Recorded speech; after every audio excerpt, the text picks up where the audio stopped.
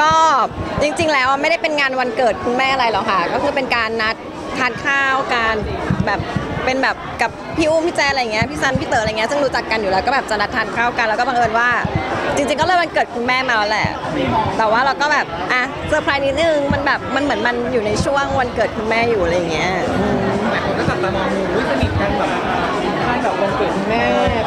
ไม่ใช่ค่ะก็ไม่ใช่เลี้ยงวันเกิดคุณแม่หรอไม่ไม่ไม่ตั้งใจว่าจะไปกินข้าว คือวันเกิดคุณแม่เค้กยังไม่ได้ซื้อเลยเอาข้าวเหนียวมะม่วงมาปักเทียนเพราะแบบเอ้ยวันเกิดแม่แบบเพิ่งผ่านมานี่หว่าก็เลยเอาแบบข้าวเหนียวมะม่วงมาปักเทียนแค่นั้นเองเป็นไงบรรยากาศตอนที่เจอกัน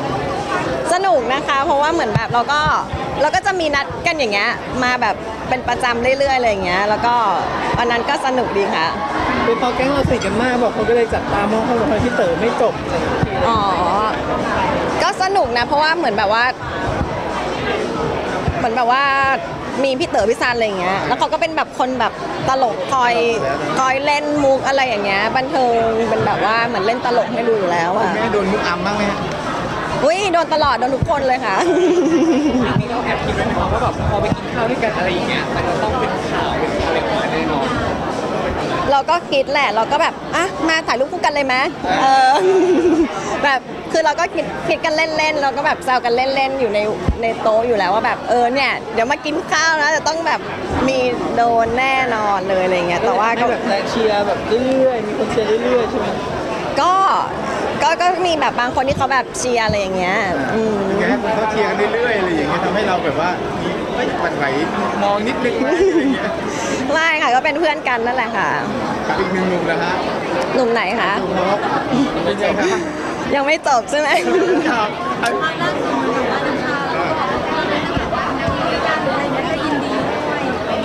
อ๋อ แต่จริงๆเราก็ยังแบบก็ยังเป็นเพื่อนกันแหละค่ะอืมมีโอกาสได้เจอด้วยกันบ่อยไหมคะก็มีเจอบ้างนะคะ เป็นไงฮะมีโอกาสที่จะแบบว่าขยับความสัมพันธ์ไหมวิวจริงๆแล้วก็ยังไม่รู้เหมือนกันแต่ว่านะตอนเนี้ยก็คือแบบเป็นเพื่อนกันนะก็ยังคุยกันเป็นเพื่อนอยู่ก่อนอืมอย่างความรู้สึกเราเราคิดว่าเขาเดินหน้าเต็มที่เลยไหมครับแบบจีบเราอะไรเงี้ยหมายถึงว่าเขาอะไรนะเขาแบบเดินหน้าจีบเราเต็มที่เรารู้สึกได้เลยอ๋อเราไม่รู้เหมือนกันอะเออแบบว่า ท่าทีเปลี่ยนไปไหมการพูดการจาหรือว่าการดูแล take care เราอะไรอย่างเงี้ยจากเมื่อก่อนที่เป็นเพื่อนอะไรอย่างเงี้ยเออคือเขาก็เป็นคือเขาก็เป็นผู้ชายอะเราเป็นผู้หญิงอะไรเงี้ยเขาก็ take care ดีอยู่แล้วแหละอืมมีโอกาสเป็นไปได้ไหมพี่สำหรับตัวเราเองไม่รู้ว่าอันนี้มันก็ต้องก็ต้องแบบใช้เวลาอะไรเงี้ยคือเราเองเราก็ก็ต้องเลือกคนที่ดีที่สุด เขาเองเขาก็ต้องเลือกคนที่ดีที่สุด ทุกคนแบบมีสิทธิ์เลือกอะไรอย่างเงี้ยเออมันทุกอย่างต้องใช้เวลาไม่สามารถบอกได้ที่สุดสำหรับเราจะต้องเป็นยังไงบ้างอืมก็ ก็เป็นเป็นคนดีนะ เข้ากับมิวได้ เข้าใจแบบเข้าใจไลฟ์สไตล์เราเข้าใจ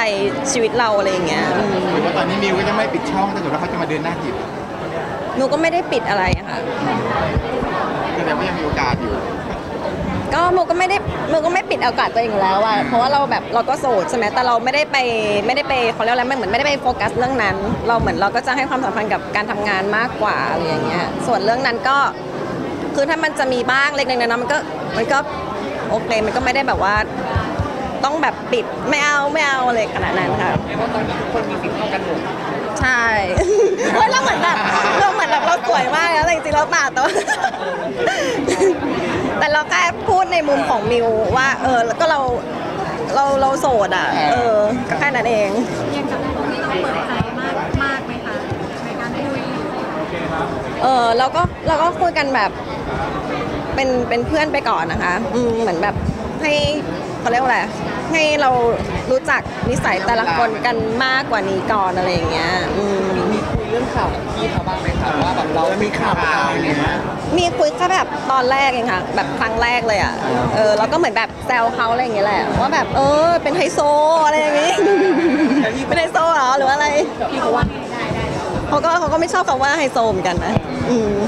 แต่ก็แซวเล่นก็กลายเป็นคำแซวเล่นเลยอะ ตอนนั้นมูโดนแบบไฮโซพกกับไฮโซคริสปี้ค่ะก็แซวเล่นแบบตลกดีอะ กลายเป็นคำแซวเล่นไปอะไรเงี้ย